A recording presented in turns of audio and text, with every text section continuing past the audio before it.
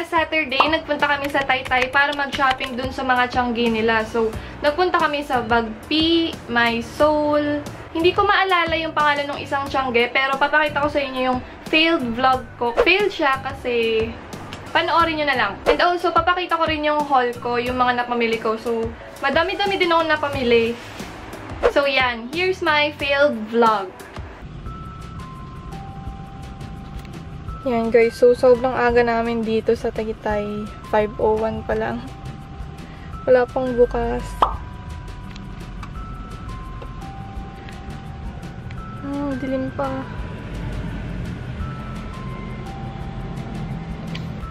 Akala kasi namin maaga nagbubukas. Yung nakalagay dun sa karatula, 5am bukas.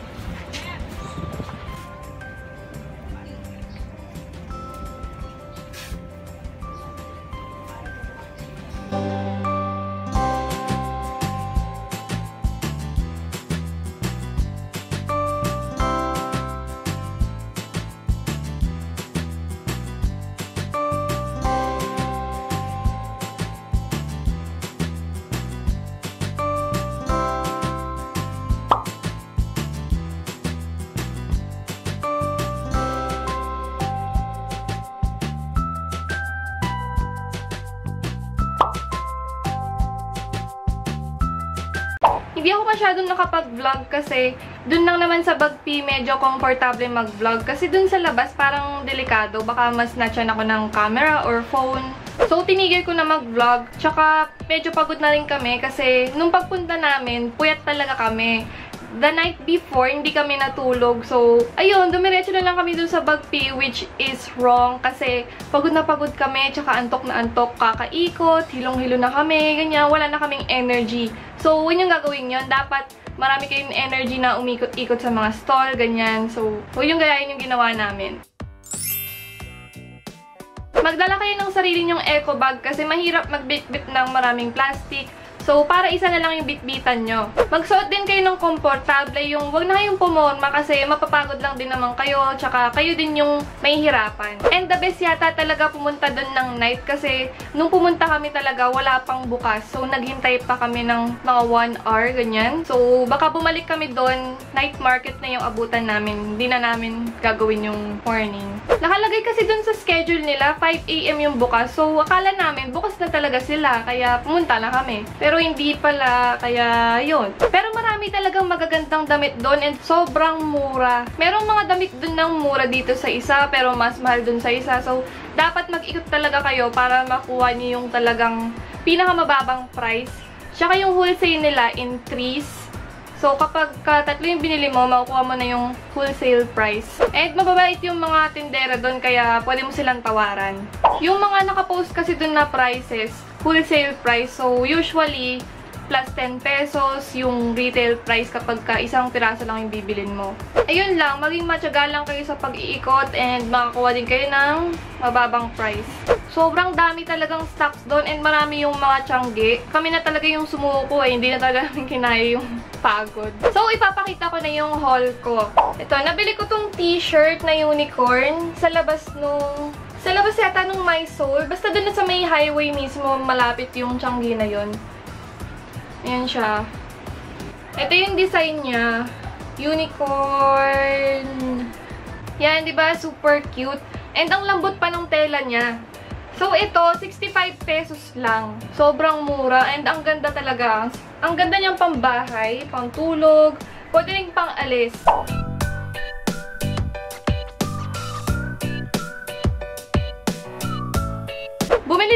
Shorts. So, ito, parang pang Japanese school. Alam niyo yun?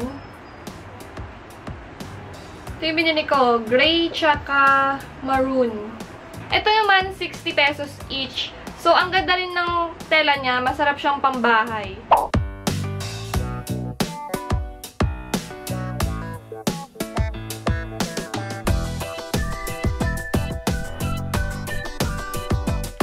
So, ito naman, terno siya.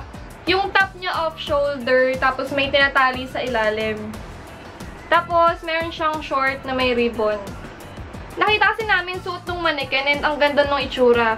So, kumuha kami ng pink. Ito naman, 160 terno na siya. Pero pwede mo rin bilhin ng separate. Ang ganda rin. Maganda siya pang casual na alis lang, ganyan. And ang ganda rin ng color kasi niya.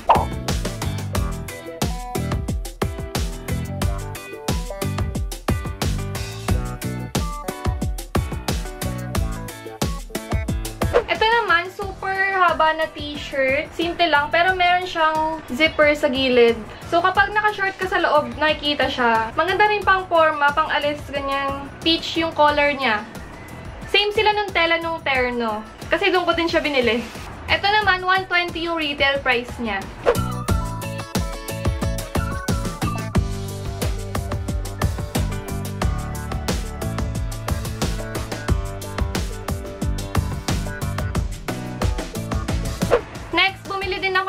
Simpleng t-shirt lang, overrun. Ang ganda rin nung tela niya. Kailangan ko rin kasi ng simpleng t-shirt lang na pang alis, ganyan. And yung color niya, ang ganda, super. And sobrang ganda rin ng fit sa akin. Ito, 100 pesos lang. Sa iba, ang mahal. So, dun sa bagpi ko to nabili, dun sa mismong gitna, kay Lola, sa kanya 100 lang. Sa iba, 180, 120 ata, ganyan.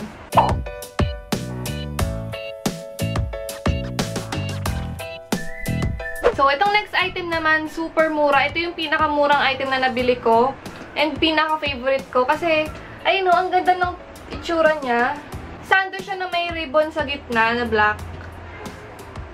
Yan, can you imagine? 60 pesos lang to. Ang ganda pa ng fit niya. Ang ganda. Ito yung favorite ko sa lahat.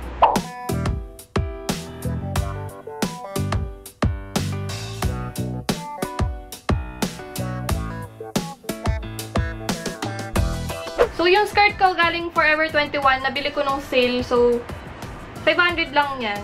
So, next naman, itong cardigan, nabili ko ng 110 pesos. Sobrang haba niya.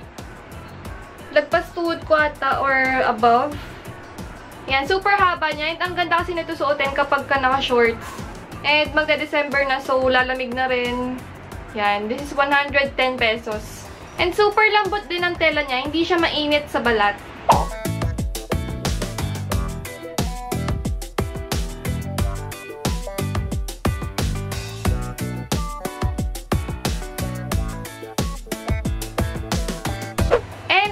Item for this haul is this plaid polo. Yan, super ganda ng color. Color pink. Matagal na ako naghahanap ng gantong polo kasi gusto ko siyang itali sa bewang. And buti na lang nakita ko tong color na to. Kasi nag-iisa na lang siya. Dapat bibiling ko na yung red. And nakita ko tong pink. Pwede siyang gawing blazer or itali sa bewang. So this one is 180. Ito yata yung pinakamahal na nabili ko, pero okay lang kasi ang ganda.